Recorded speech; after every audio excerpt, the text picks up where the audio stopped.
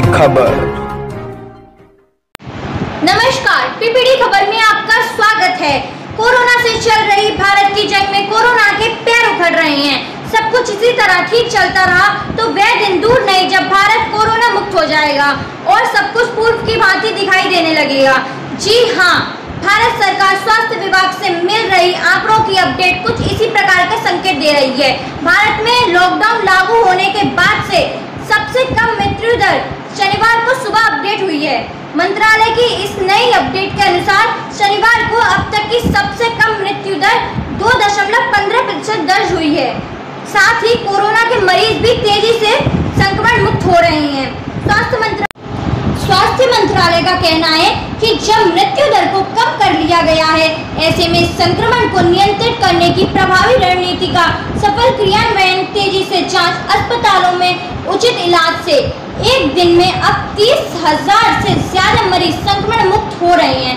भारत में कोविड 19 से अब तक संक्रमण मुक्त हुए लोगों की संख्या बढ़कर 11 लाख पहुँच गई है। वहीं इस महामारी से होने वाली मृत्यु की दर मध्य जून के तीन दशमलव तैतीस प्रतिशत से बेहतर होकर अब तो दस, दो दशमलव पंद्रह प्रतिशत रह गई है। केंद्रीय स्वास्थ्य मंत्रालय ने शनिवार को कहा मार्च में लॉकडाउन का प्रथम चरण लागू किए जाने के बाद से देश में कोविड 19 की मृत्यु दर पहली बार इतनी कम हुई है। मंत्रालय ने कहा कि दुनिया भर में भारत अभी भी कोविड 19 मृत्यु दर को सबसे कम स्तर पर बनाए हुए है।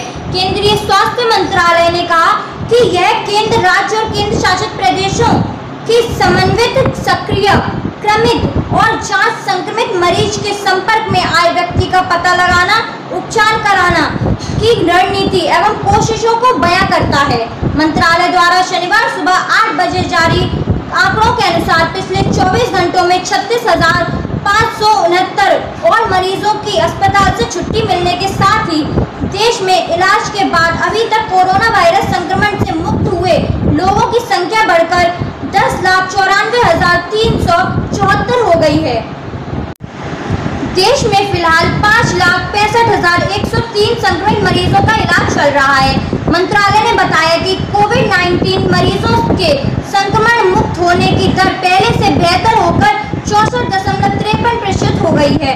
हालाँकि भारत से कोरोना के पैर धीरे धीरे उखड़ रहे हैं। इसका मतलब यह कतई नहीं है कि हम इस महामारी के प्रति लापरवाही बरतने लगे। जब तक भारत में कोरोना का एक भी मरीज़ है, तब तक हम सभी भारतवासियों को सतर्क रहना होगा। भारत सरकार और प्रदेश सरकार की ओर से जारी की गई गाइडलाइन का शत प्रतिशत पालन करना होगा। आप देख रहे हैं अपना पसंदीदा चैनल पीपीडी खबर। कृपया हमारे चैनल को सब्सक्राइब करें। आपको ये जानकारी अच्छी लगी हो तो कृपया वीडियो को शेयर भी कर दें, ताकि यह जानकारी यह अच्छी, खुशी भरी खबर सभी भारतवासियों के पास पहुँच सके। के थ्री व्हीलर्स चाहिए तो कुमार ट्रेडिंग कंपनी आइए। फाइनेंस की सुविधा भी उपलब्ध है। जी हाँ कुमार ट्रेडिंग कंपनी गौशाला के पास G T road Etah. Managing director Dharmendra Chauhan. Mobile number है seven nine zero six seven three six eight one zero